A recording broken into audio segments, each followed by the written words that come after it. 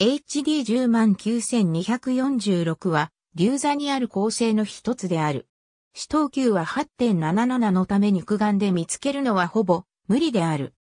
スペクトル分類では G 型主系列性であり、スペクトル分類の他質量、半径、絶対等級なども太陽ととても類似している。2010年に HD109,246 の周囲を公転している惑星が発見された。この惑星は木星の約0.8倍ほどの質量を持ち、恒星から約 0.33au 離れたところを公転している。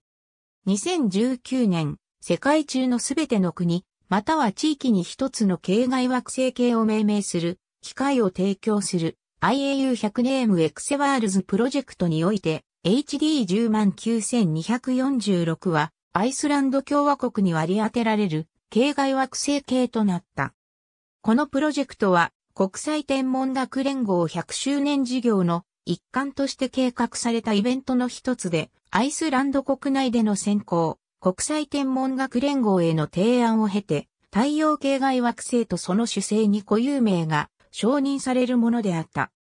2019年12月17日、IAU から最終結果が公表され、HD109,246 は、フニ、HD109,246B は、フォールドと命名された。これらは、古いアイスランド語で恒星とその惑星を象徴する、自然のエレメントと力に関する言葉に由来しており、フニは火、または炎を意味する言葉に、フォールドは大地、または土壌を意味する言葉に、それぞれちなんで名付けられている。ありがとうございます。